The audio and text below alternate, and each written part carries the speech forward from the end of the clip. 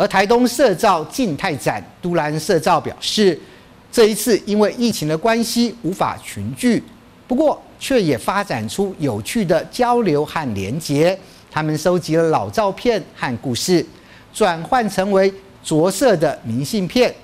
让部落长者以及小朋友们接力彩绘。也成为了推广当地文化的素材。台东限定的社造静态展展区现场，已融入社区风格和行动京剧，点出社区发展特色。而社区也各自准备记录一年来的成果，像是都兰社造搜集老照片与故事，转换成着色明信片，让部落长辈和小朋友彩绘，也成为推广当地文化的素材。今年我们仍然跟去年一样，注重代间交流，然后呢，我们延伸到去做社群连接，所以今年呢，你会看到各式各样不同的社群。杜兰其实已经是很有名的联合国了，所以我们各个族群，其实你现在在看到这个图案里面，就已经包含了各个社群，包括那个小朋友，他其实是啊，他的妈妈是越南人，我们连姓一名，我们也融融进来。然后一样的呢，是用以前的老照片、老故事，然后呢画成着色图像，很容易的让小孩子跟老人家一起参与。